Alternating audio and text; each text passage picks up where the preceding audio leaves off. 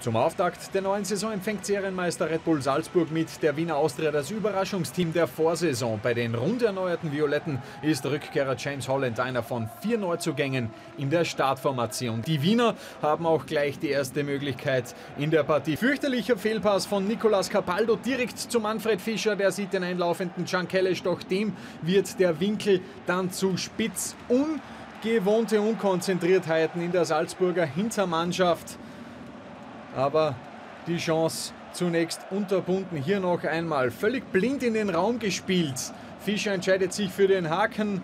Kelesch dann in dieser Position ohne wirkliche Chance im Zentrum. Huskovic noch weggerutscht. Chance unterbunden. Die erste Möglichkeit für den Meister dann in Minute 5. Van der Bremt setzt Cesko ein. Der sieht im Rückraum Fernando und der Brasilianer hat gleich die doppelte Chance um die Salzburger in Führung zu schießen. Der einzige Neuzugang in der Salzburger Startelf mit der ersten guten Möglichkeit. Es geht munter weiter. Nach einer Viertelstunde die nächste Top-Möglichkeit. Langer Ball von Bernardo auf Scheschko. Eine herrliche Ballmitnahme, ein beinahe perfekter Abschluss. Und dann ist die Frage, war der Ball hinter der Linie oder war er es doch nicht? Eine knifflige Situation. In Österreich gibt es ja keine Torlinien Technologie. Martins kratzt die Kugel da von der Linie bis zum Abschluss. Alles perfekt gemacht von Benjamin Scheschko. Am Ende schaltet sich der VAR ein und Schiedsrichter René Eisner entscheidet auf kein Tor. Und das geht auch so in Ordnung. Die Austria versteckt sich nicht. Galvao, Braunöder und Gruber mit einer super durchgespielten Möglichkeit.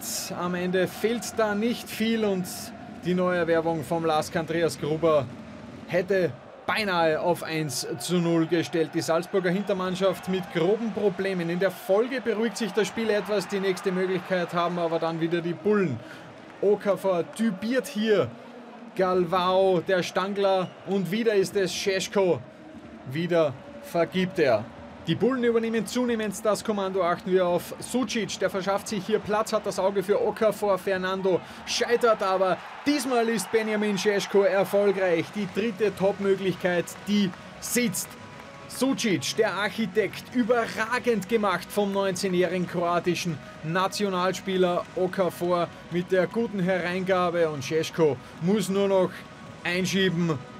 Früchtel im Tor der Wiener chancenlos. Die Veilchen bleiben trotz des Rückstands initiativ und verstecken sich nicht. Eine Ecke von Matthias Braunöder findet Huskovic. Der köpft aber könnt direkt an. Es ist die letzte Möglichkeit in Hälfte 1. Und er hat in den ersten 45 Minuten den Unterschied gemacht. Auf der Gegenseite müssen die Wiener zu Wiederbeginn wechseln. Liverpool-Leihgabe Billy Cumetio ersetzt Johannes Handel, der nach diesem Luftzweikampf mit Fernando nicht weitermachen kann.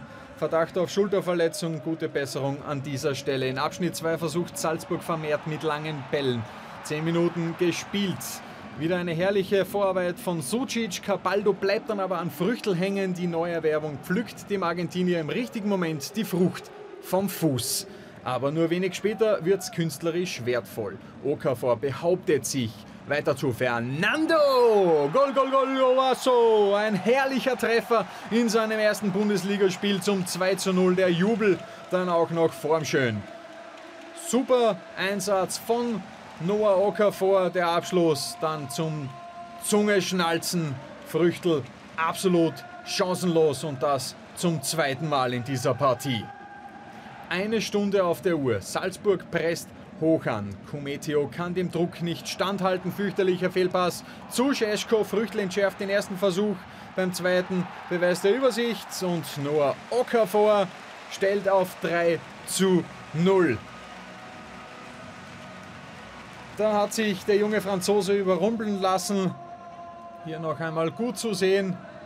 Ziemlich blind auf Benjamin Jeschko. Der versucht Früchtel mit dem Fuß zur Stelle. Und Okafor muss nur noch einschieben. Von der Austria kommt in Hälfte 2 offensiv nur noch herzlich wenig. Etwas mehr als 10 Minuten vor Ende der regulären Spielzeit dann noch ein Lebenszeichen. Fitz mit Spielwitz auf Huskovic, der Stangelpass dann aber etwas zu steil für Joker Harris Tabakovic. Das war's dann aber auch. Die letzten Minuten plätschert die Partie vor sich hin. Die Austria bleibt zwar bemüht, doch Zählbares schaut dann nicht mehr raus. Und so gewinnt der alte Meister das erste Spiel der neuen Saison letztlich ungefährdet und verdient mit 3 zu 0.